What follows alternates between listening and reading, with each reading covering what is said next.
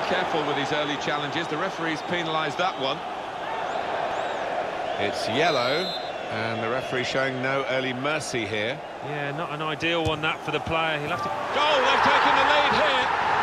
They go in front with this very slick attack. And however the opposition sets up against them, they have the power to break them down.